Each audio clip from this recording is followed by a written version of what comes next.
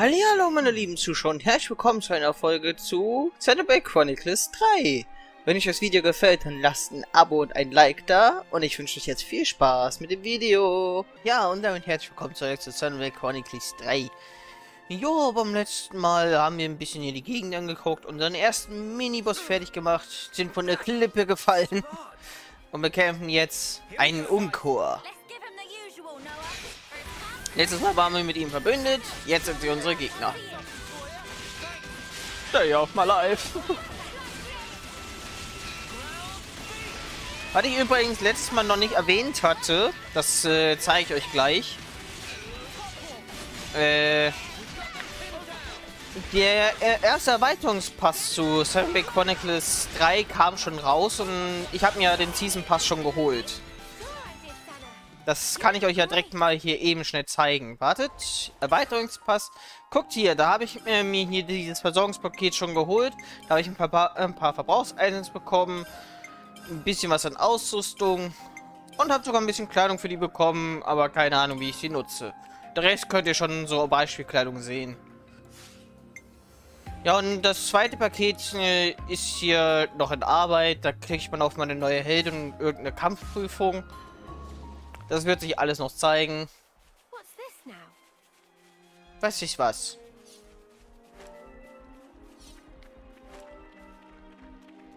Das, das sind diese Pflanzen, die mich nur beißen wollen.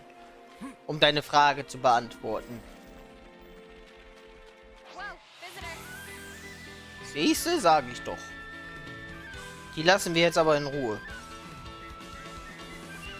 Zu Protokoll, wir lassen Sie in Ruhe, nicht umgekehrt.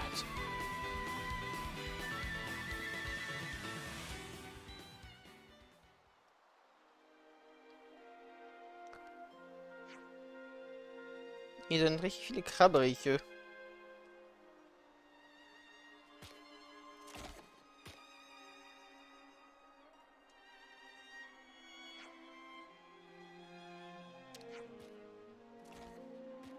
Hm.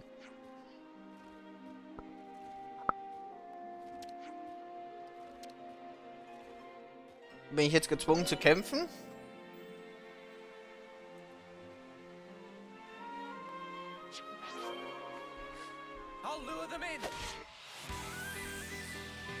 Ach komm, die schaffen wir, die paar Krabbereiche. Ein Nest an Krabberich. Das sind die.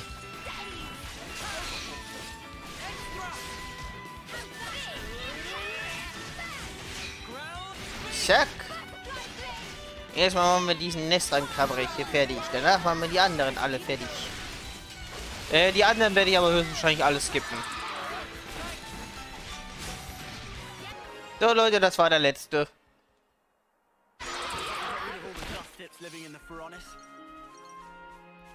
Wir haben alle Fer äh, Ronis Krabberiche fertig gemacht und hier ist eine Hülle. kriegst erstmal ein Lied. Mögest du im Frieden ruhen. Dieser dunkle Nebel hier neben mir macht mir Angst. So, was ist diese komische Mini-Fabrik, die ich gerade eben schon sah? Keine Reaktion. Das wäre damit geklärt.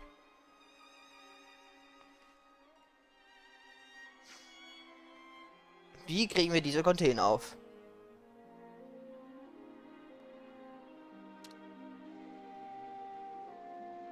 Und dann kriegen wir wahrscheinlich auch diese Maschine an.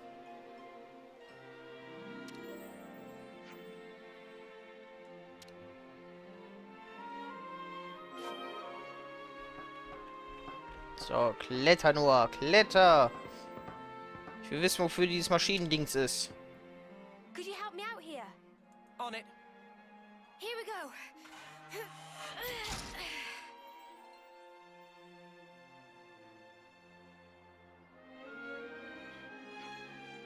Hm. Wie kriegen wir das Ding aufgeladen?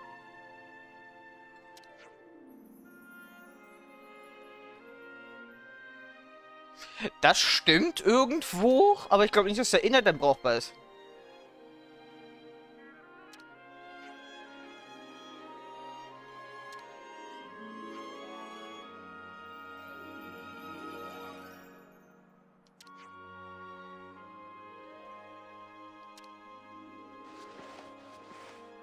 Immer einen Zylinder dabei?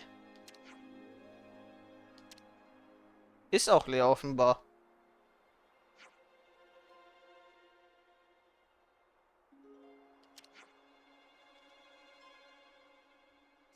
ja, jetzt haben wir gar keine Versorgung mehr.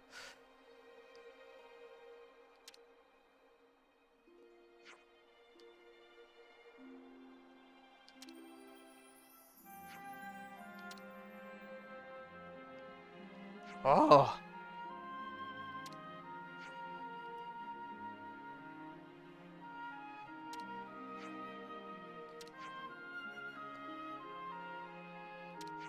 Hm, dann holen wir mal den Äther. Der äh, schon immer sehr wichtig war. Ätherkanäle. Siehst du in äh, der Landschaft ein grünes, grünliches Licht, so befindet sich dort ein Ätherkanal. Du solltest die Chance nutzen und dort den Äther einsammeln, um deine Ätherzylinder aufzufüllen. Nähere dich einem Ätherkanal und drücke A, um den Äther in einen Ätherzylinder zu sammeln. Wie viel habe ich? Ich kann hier einfach runterhüpfen, ne? Ja, ich überleb's. Und da ist auch nichts, was mich umbringen will.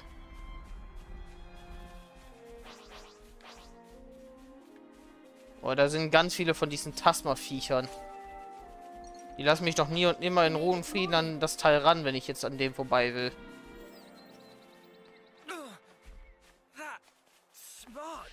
Einmal einen großen Bogen um die drehen. Das ist eine ganze Kolonie von denen.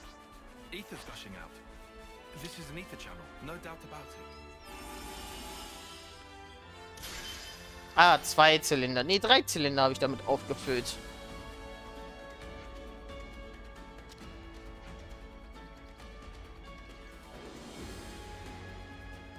Hm, klingt nach einer guten Idee.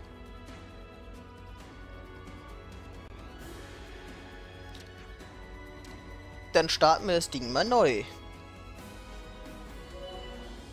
An manchen Orten in der Region findet man Wracks von alten Feronissen. Es ist möglich, die mit Hilfe von Ätherzylindern neu zu starten. Wenn ein Feronis Wrack wieder aktiv ist, kannst du mit seiner Mini-Fabrik Items herstellen, aus Containern seltene Items erhalten und es als Rastpunkt nutzen. Oh, das klingt sehr praktisch. Das ist eine sehr gute Frage. Also hier kann ich gleich Items herstellen. Das würde mich auf jeden Fall am meisten freuen.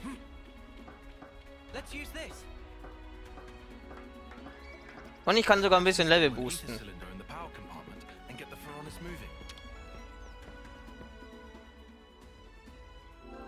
Erwache zu neuem Leben.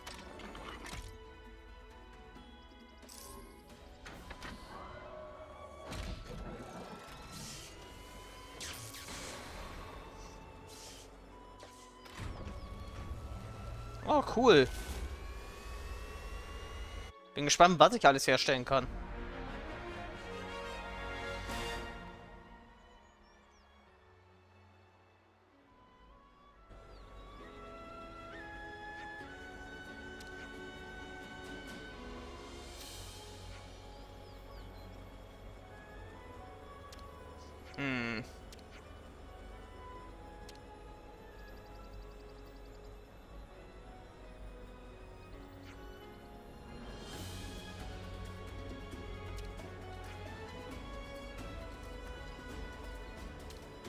Da wollte ich sowieso mal dran gucken, weil das Ding sehr interessant gerade eben schon aussah.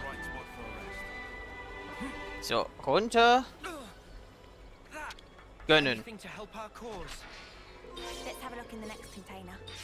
Da ist ja sehr viel drin. Schutz Nopon-Puppe. Ach, ich habe euch noch gar nicht gezeigt, was die Ausrüstung, die ich aus dem Teil bekommen habe, kann, ne? Äh, das waren diese drei nützlichen Items hier. 10% Chance auch bei Techniknutzung äh, die Aufladung zu behalten. Habe ich äh, Lance gegeben, damit er das Umwerfen öfter macht. Das sollte ich, glaube ich, aber eigentlich eher mir geben. Ich habe mir das Nopon-Band gegeben. Ne, mir habe ich das gegeben. Ich, äh, ich bin voll Depp. Fellsocken habe ich gerade bekommen, Rückbleibresistenz um 20 Punkten, 10 Punkte, Blockrate 32%. Okay. Das kann nützlich sein. Das gebe ich Lance.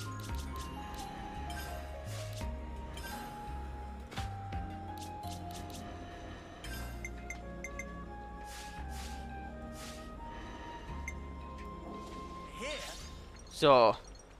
Dann nützen wir jetzt erstmal hier den Punkt.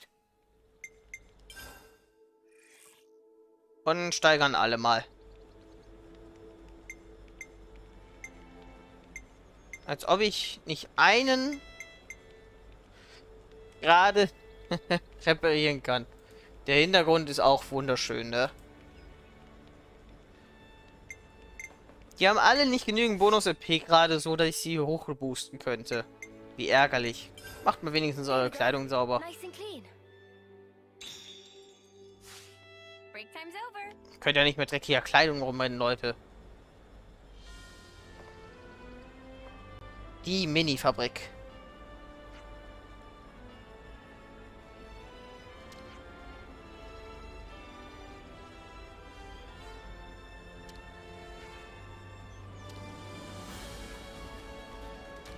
Ja, bin gespannt, was ich damit alles herstellen kann. Mini-Fabriken in der Nähe jedes des Veronis Fax befindet sich eine Mini-Fabrik, die gegen Zahlung von G-Sammel-Items und manch auch seltene Items herstellt. Ach, mehr nicht? Ich dachte, ich könnte damit jetzt Ausrüstung herstellen. Ja, 300 G habe ich.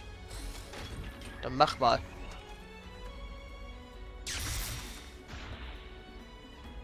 Oh, da kommt ja richtig viel raus.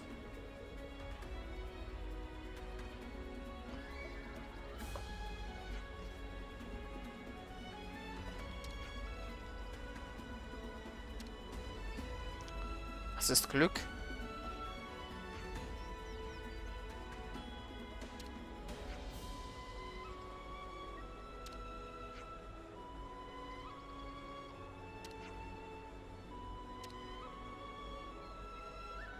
Wenigstens kann man mal ausruhen, ne? Hä? No Pons. Neue Freunde.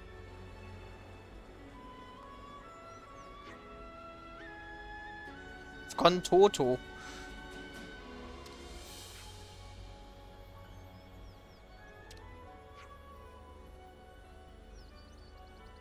Ah, ein freier, äh, freies Lebewesen. Sowas sieht man selten, glaube ich, hier.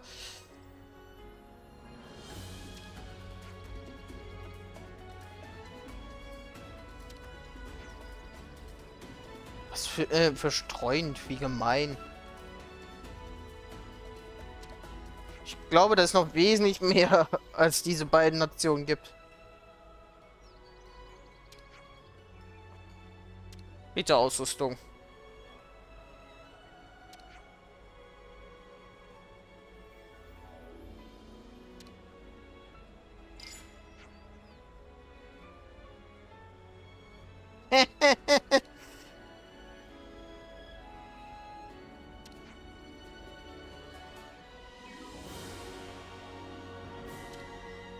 Ich kann unnötigen Scheiß verkaufen. Oh. Man kann die auch instant alle verkaufen. Wie nett. Leckerwurst kaufst du nicht an. Ja, das sind alles Geizkragen. Nopon sind die geborenen Händler. Bei jedem äh, Spiel. Du findest keine so krassen Händler wie Nopons. Also bei den Xenoblade-Spielen.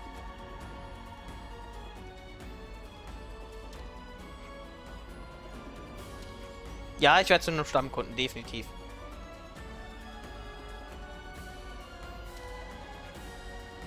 Überall. Oh. Ich kann jetzt einfach so Zeug verkaufen?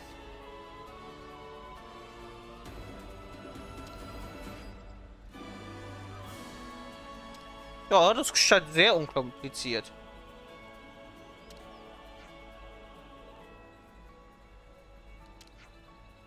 Danke, Skontonto.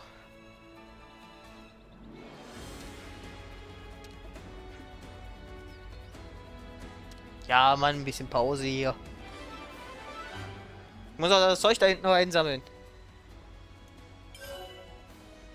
Automatisch verkaufen. Items oder andere Nutzen werden automatisch an die Händlerin des Konto verkauft. Hast du bereits den maximalen möglichen Geldbetrag erreicht, verschwinden sie einfach.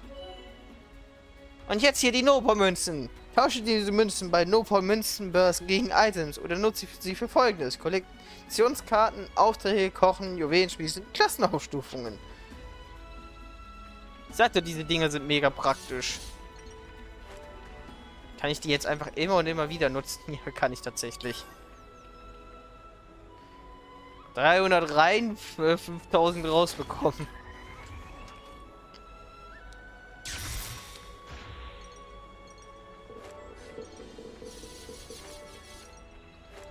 Was da alles rauskommt.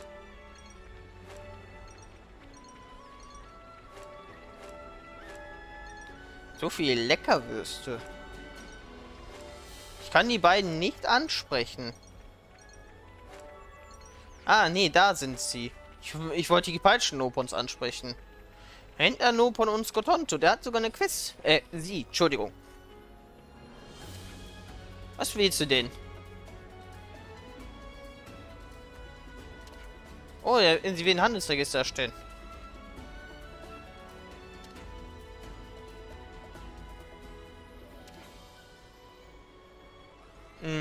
Dann, äh, dann müssen wir erledigen. Auf Meisterpon. Okay, äh, Händlerpon.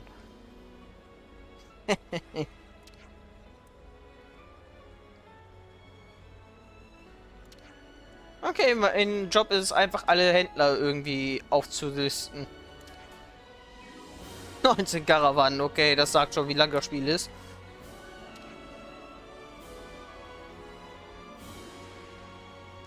Mimumu. Die haben alle so interessante Namen immer. Da hinten ist auch ein gigantischer Frosch, ne? Wenn man jetzt mal die anderen Frösche anguckt, das ist bestimmt ein Boss der Frosch da hinten. Er hat ein gelber Nopernstein. Okay, ich muss diese Steine einheimsen.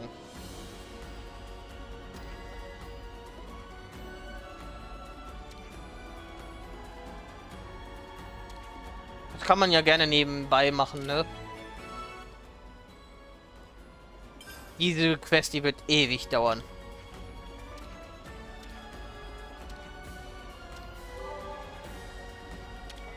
So, bei den Nopons will ich auf jeden Fall die beste Beziehung aller Zeiten haben. Weil das sind die Händler. So, was zum Verkauf eh gerichtet war, das haben die ja instant eingeheimst, ne? Was habt ihr denn so im Angebot? ETA-Abwehr um 5%. Oh, die haben sehr schönes Zeug.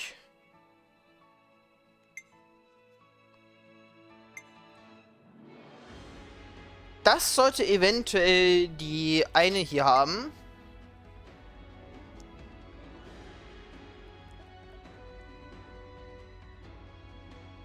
Das könnte eigentlich auch ganz praktisch mal sein.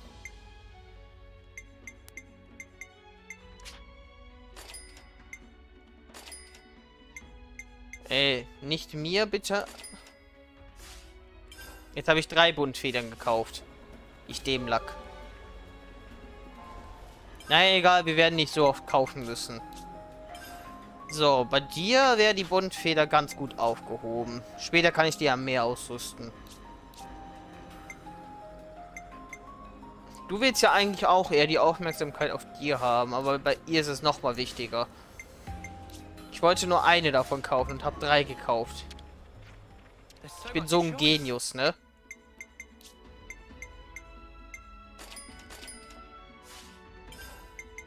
Alter, die Nopom-Puppe ist 50, äh, 5000 wert, ey. Der Autoausgleicher ist 9900 wert. Den Silbergut, den werde ich mir auf jeden Fall irgendwann nochmal anlegen. Aber wie viel manches wert ist.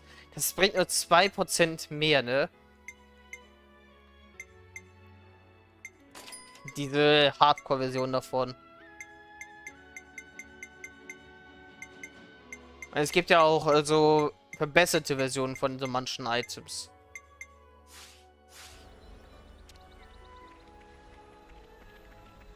So, ich muss ja natürlich nochmal hier ausruhen.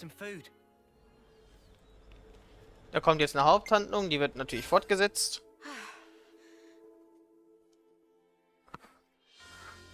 Hm. Mit den ganzen No-Pods um einen herum fühlt man sich irgendwie sicherer. Weil wo die No-Pod-Händler sind, da ist es meistens friedlich.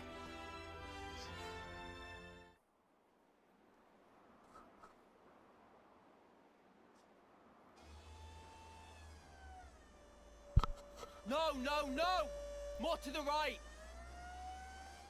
Right there! Start lowering!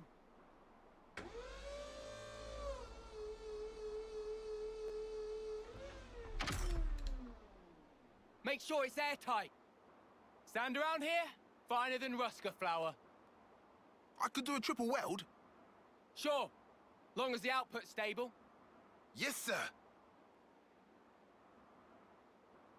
What's up with the K-rounds? We're two caches short. Hope you didn't snuff up the order. I don't know, okay? Got a problem, take it up with logistics. We're just a dirt rank colony. Low as they come. You think the castle gives a crap? A Queen's oath, this pisses me off. We get better scores than any sparking colony out there. Did you know?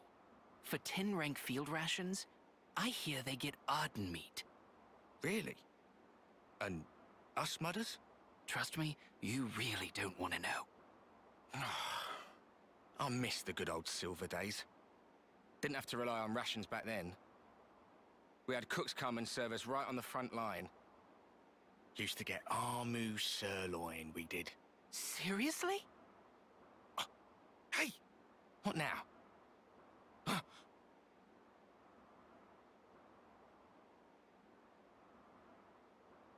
My own indiscretion has caused you difficulties.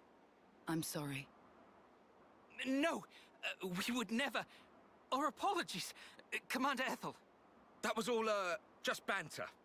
Believe me, we had no intention of... You enjoyed eating our mistake, did you? Uh... Yes, I did. Tastiest food I ever ate. I liked it as well. And I hope we will have it again. So lend me your strength. Mom! Yes, Mom!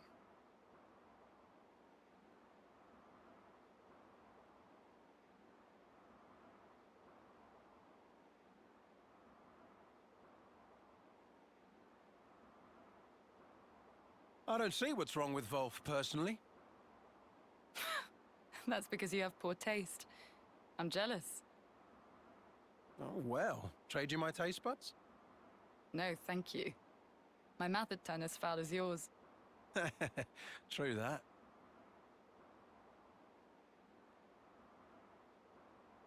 They cleared out real fast.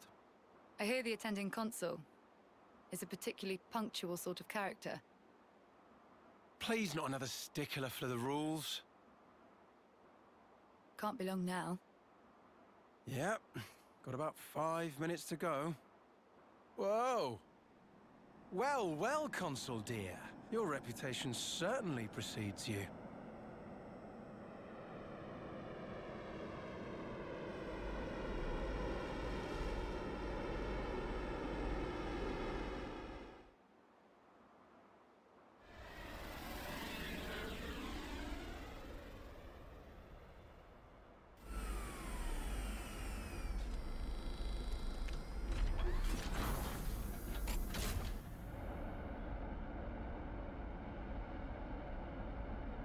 Ah! Spark's sake, the hover type? I mean, did they not get the memo about the terrain here?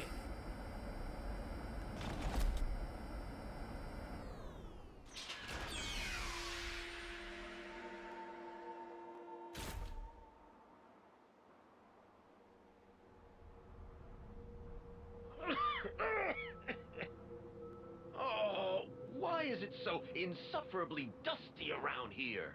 Clearly, rainy season will soon be upon us. I ask your patience for just this short while. Is that so? Then leaving aside the issue of cleanliness, just what is with all this fog? I don't take kindly to my vision being obfuscated. Oh, forget it. So, where are my quarters? Yes, this way.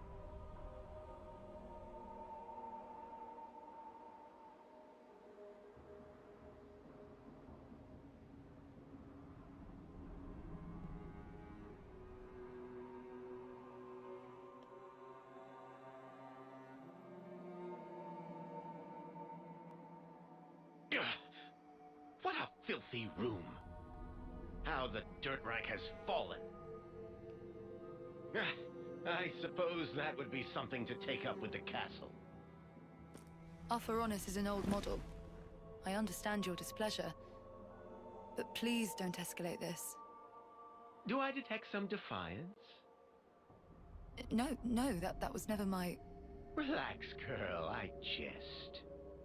Now then, let's cut the chit-chat and talk business. I'd like you to eradicate some vermin for me. Vermin. By your leave, sir, we've detected no movement from Agni and Phoronesis around this area.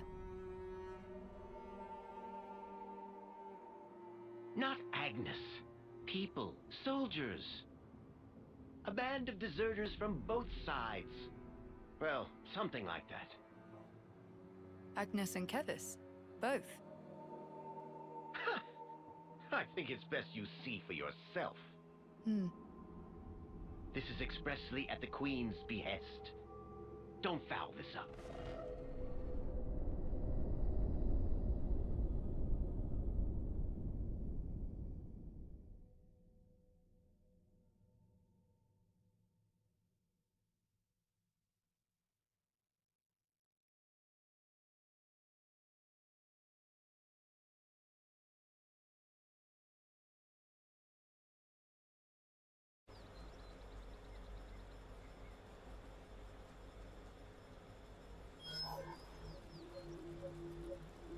Looking at something? Oh, nothing in particular, really. It's just kind of a habit. Checking our status, the war, watching for info updates. Silly. Don't know why I still bother to check it anymore. Not like there'd be updates. Oh, What is it? an icon just popped up. Over your head. Huh? Oh, yeah. Now I can see an icon for you as well. When did we unlock a feature like this? I've never noticed it before.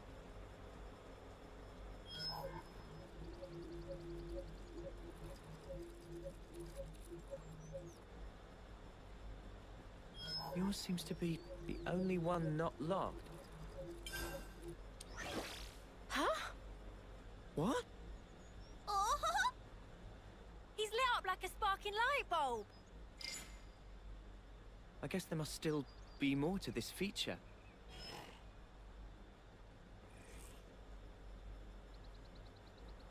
Hey, that's Mimi's! What in the blazes? I've never used this kind of blade before, but all the techniques I can use with it are flashing before my eyes.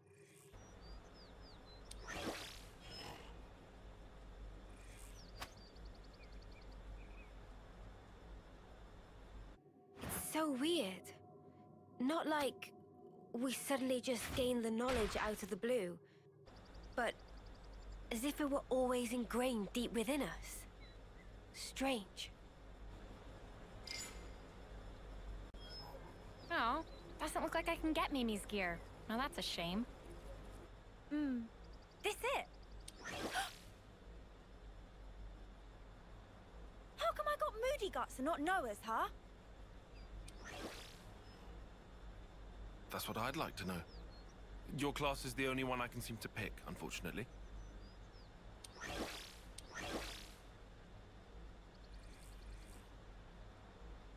Whoa! You can lug this thing about without a power frame. Not bad. Don't know how this is even working, but cool. But is this all part of Ouroboros too? If it gives us more options in battle, I'm all for it.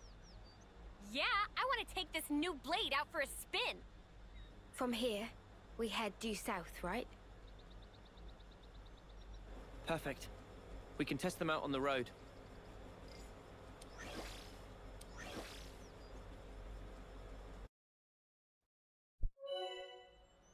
Ah, Klassenwechsel. Wählen Hauptmenü Charakter Klasse, um die Klassen zu wechseln. Ich finde das System übrigens gut, jetzt schon. Jede Klasse hat ihre Eigenart und Besonderheiten. Daher lohnt es sich viel auszuprobieren. In Kämpfen erhältst du Klassenpunkte. Klapp. Klapp, klapp. die deinen Klassenrang anheben. Je äh, länger du dieselbe Klasse verwendest, desto schneller steigt der Rang auf. Meistertechniken ausrüsten. Wähle im Hauptmenü Charaktere, Techniken, um die Meistertechnik für einen Charakter festzulegen. Je Rang in der Klasse steigert, kannst du Techniken der Klasse äh, meistern und diese Meistertechniken dann auch mit anderen Klassen als Sekundärtechnik ausrüsten. Die Anzahl zuweisbarer Sekundärtechniken zeigt mit der Stu steigt mit der Stufe des Charakters. Ferner können Kevesi-Klassen nur agnische Meistertechniken zuweisen und umgekehrt. Meistertalente einsetzen steigenden Klassen meisterst du die Talente der jeweiligen Klasse. Solche gemeisterten Talente können auch unabhängig von der Klasse genutzt werden. Du kannst meiste Talente im Hauptmenü einsetzen unter Charaktere Talente. Wenn du genug Stufen aufsteigst, erhöht sich auch die Anzahl an Meistertalenten, die du einsetzen kannst. Das Maximum beträgt 3. Boah, haben wir jetzt viel Auto zu verarbeiten. So, ich kann das jetzt für jeden einzeln anpassen, beziehungsweise ich muss jetzt für jeden einmal anpassen. Ja, ich sehe ja die verfügbaren Klassen. Irgendwann kann ich wahrscheinlich von jedem hier machen.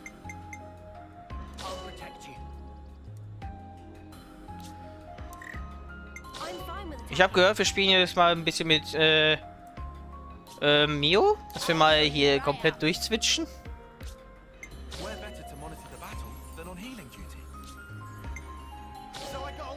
Warum ist das Mädchen ein Uga? Sieht doch gar nicht so aus. Ich bin ja gerade wirklich dazu gezwungen, die ganzen Kram jetzt machen, ne? Ich mag das immer noch nicht, wenn man das aufgezwungen bekommt.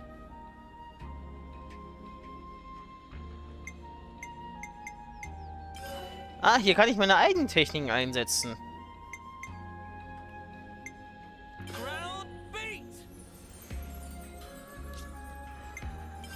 Breitseite. Muss ich jetzt bei jedem einmal machen, ne? Ja, diese ähm, Myopie-Blende, die hätte ich gerne generell bei der.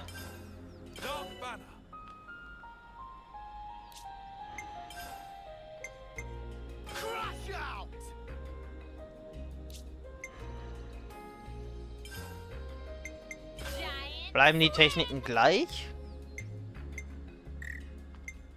Nee. Und jetzt muss ich Meistertalente zuweisen.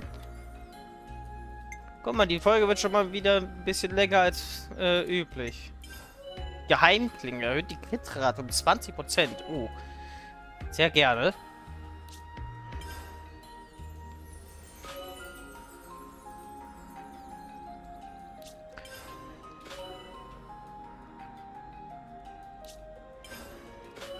Ich bin ja gerade hier gezwungen durchzudrücken.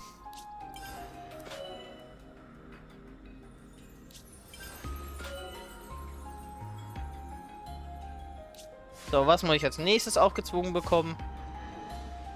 Nix. Gut.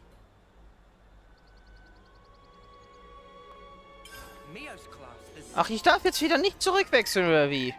Ach, was seid ihr denn für Dreckige? Nee, äh...